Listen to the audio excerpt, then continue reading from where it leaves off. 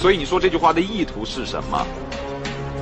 没有什么目的，只是想说表达那时的心情，那时的意思。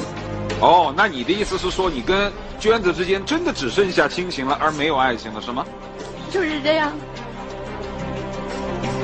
我就知道你今天会来的，你会选择我的，对不对？你那么喜欢我，咱们两个在一块那么开心，你干嘛？你放开手！你弄疼我了，你知不知道？这有他是我男朋友，我就是没有素质。他已经不爱你了，他现在对你只有亲情了，你还不明白吗？是这样吗？你告诉我，是不是我们之间只有亲情了，没有爱情？是不是像他说的那样子？你说，你别逼着让自己选择，好行吗？好了，你俩这样逼着他有用吗？别吵了，别吵了。我知道你现在挺难过的，我知道你付出了那么多。姐，咱好好说行吗？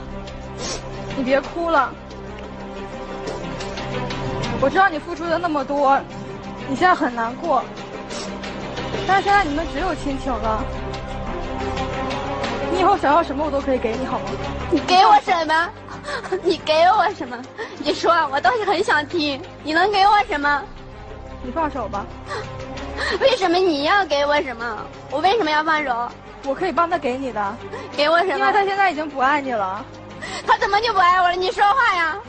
你别逼他行吗？真的只有能别逼没有爱情了吗？你哭有用吗？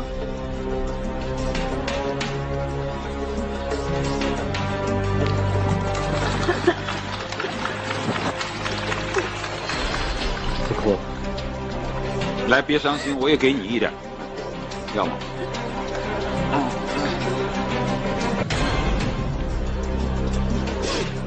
擦擦你的眼泪吧。我要是你，我就不哭。人家都给你擦眼泪了，有什么好哭的呀？这气势不已经在我们这边了？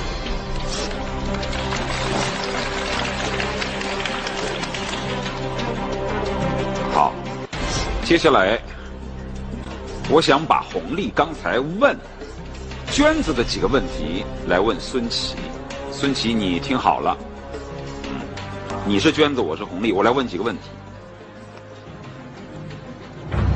你娟子有什么？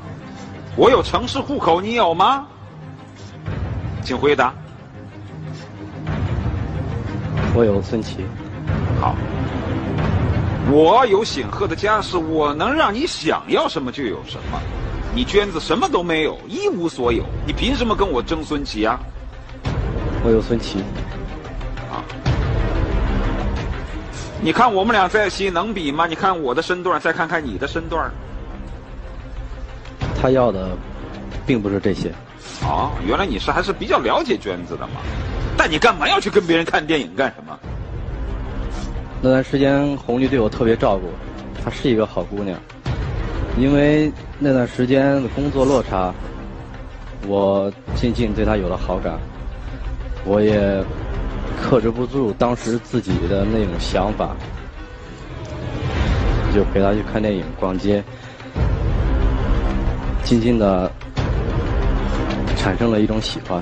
你有没有过动摇？是因为红利的家世？这倒没有，因为我喜欢的是。红丽的为人，她的性格。那你今天来是干什么？告诉他们我的选择。好，那接下来我把舞台交给你，你就把你真实的选择和话语告诉他们。好，接下来是他们三个人的告白时间。孙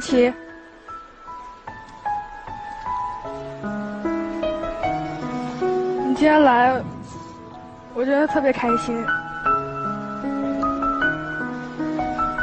我知道我身上有挺多不好的地方，我爱耍小孩子脾气，你知道的，我是嘴硬心软的那一种。我就是再不好，我也真的就是我太喜欢你了。我是因为喜欢你，我才这样的。我不管别人怎么骂我，怎么说我。我知道，我都懂你。你只是少了一个机会，你那么有上进心。如果咱们两个在一起，我我不是因为我的这些而让你选择我的，我就真的是可以帮到你的。帮到以后我们一起努力，不可以吗？我不是因为物质才留住你的，你别拒绝我好吗？我知道，你觉得娟子对你付出了那么多，你不心不忍心伤害她，你想想我咱们俩在一块那么开心的，别拒绝我好吗？我不让你来，为什么还要来？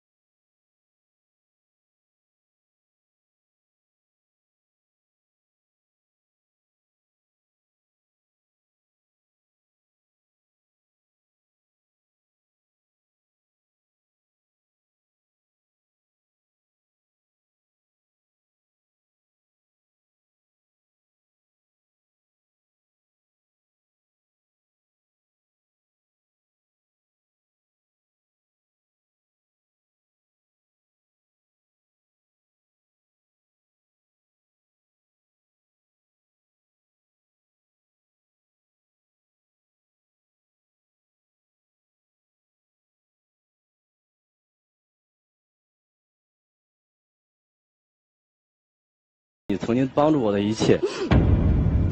如果没有你的话，我可能现在我的我的母亲一直躺在病床上，没有人照顾。我谢谢你把机会让。